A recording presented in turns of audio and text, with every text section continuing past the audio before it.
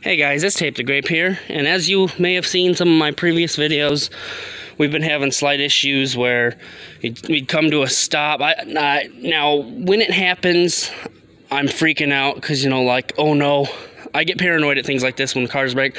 I can't tell if it dies right when it stops or if it's slowing down to stop, one of the two.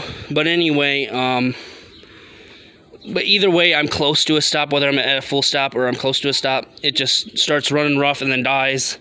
Then that most recent time that happened, it wouldn't start up.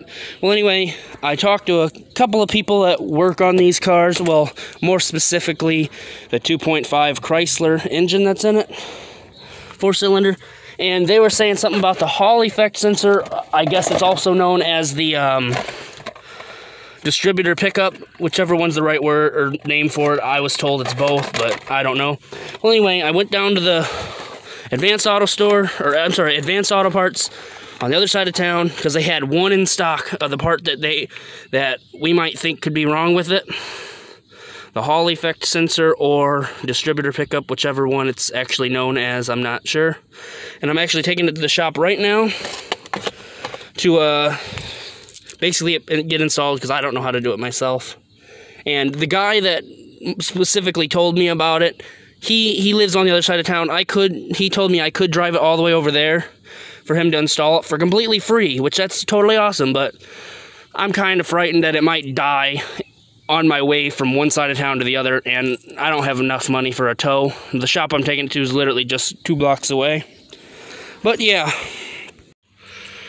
Well, anyway, the part I'm referring to right underneath the distributor. This uh, it's either the rectangle piece and the little um, um, horizontal cylindrical piece you see underneath, or maybe it's just the horizontal cylindrical piece underneath.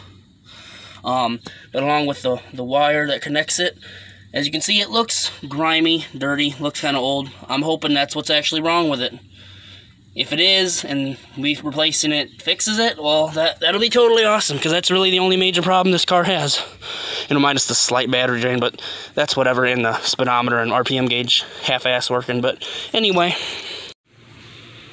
Alright, so we got it back from the shop. This is actually a day later because uh, we tried paying yesterday with a card, but their card machine was down, so we had to pay for cash with cash today. Well, anyway, there's no point in me showing you under the hood of the new part because what I pointed out in the previous clip, I realized the part that we got replaced was actually encased in that and I really all you I'm sorry all you'd really be able to see is just the brand new wire but anyway we don't know if it fixed it yet um, we've only driven it two blocks you know from the shop back home but if it does die again obviously that's not what was the culprit was and I'll be sure to let you guys know and we'll figure it out from there but anyway, I hope you have a good day and hope you enjoy the video, and I'll see you in the next one. Bye.